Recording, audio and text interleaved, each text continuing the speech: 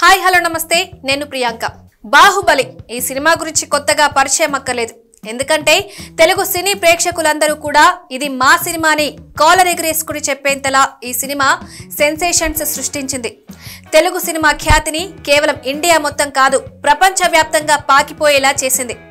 ఇక world cinema industry మొత్తం ఒక్కసారిగా తెలుగు సినిమా వైపు చూసేలా చేసింది ఈ మూవీ. దర్శక ధీరుడు తెరకెక్కించిన ఈ సినిమా ఒక కళాఖండం అనడంలో ఎలాంటి సందేహం లేదు. టాలీవుడ్ ఇండస్ట్రీ హిస్టరీలో నిలిచిపోయే సినిమా ఇది.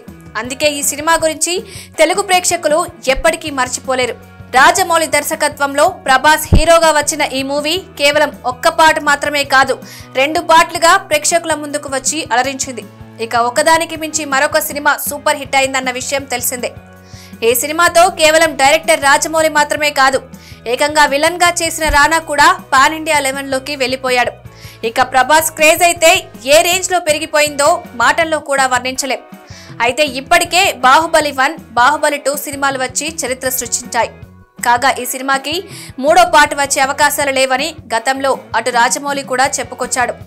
ఇటీవల ఓ నిర్మాత మాత్రం బాహుబలి త్రీ మూవీ గురించి ఇంట్రెస్టింగ్ విషయాలను బయటపెట్టాడు. సూర్యతో కాంగవా సినిమాను నిర్మిస్తున్న జ్ఞానవేల్ రాజా ఓ ఇంటర్వ్యూలో పాల్గొని ఆసక్తికర విషయాన్ని వెల్లడించారు. బాహుబలి నిర్మాతలతో తాను ఇటీవలే మాట్లాడినప్పుడు బాహుబలి త్రీ తీస్తామంటూ వారు పేర్కొన్నారంటూ జ్ఞానవేల్ రాజా చెప్పుకొచ్చారు. ఆయన చేసిన కామెంట్స్ హాట్ టాపిక్గా మారిపోయాయి. రాజమౌళి సైలెంట్గా బాహుబలి త్రీ వర్క్ స్టార్ట్ చేశాడా ఏంటి అని అందరూ చర్చించుకుంటున్నారు. మరి ఈ విషయంపై రాజమౌళి ఎలా స్పందిస్తాడో చూడాలి.